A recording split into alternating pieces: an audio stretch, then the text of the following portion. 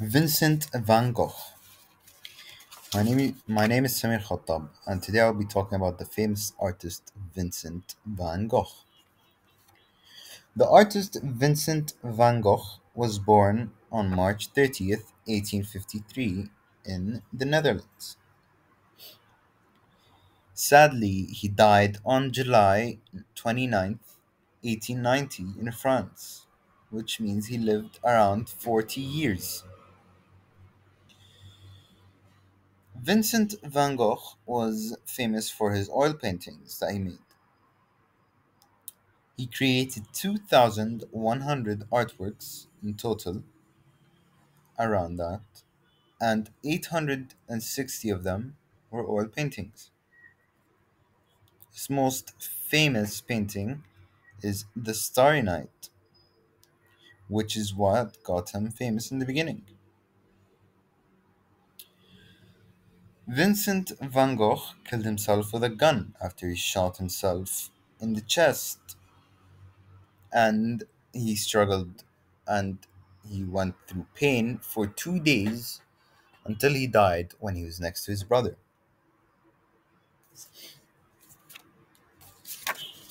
Hmm. Vincent van Gogh's love life was pretty sad.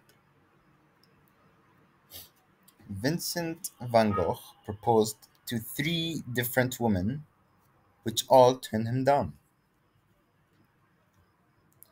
Growing up, he went to an art school, which is where he got his amazing talent from.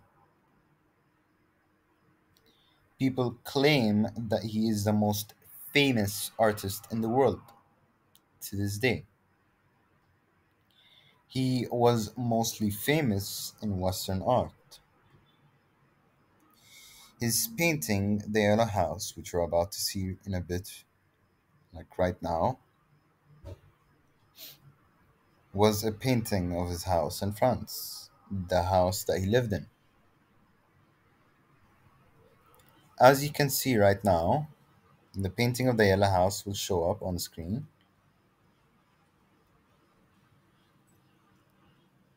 This is the yellow house, which is a painting in, done in the year 1888, which was an oil painting. Vincent van Gogh spoke English, French, and Dutch.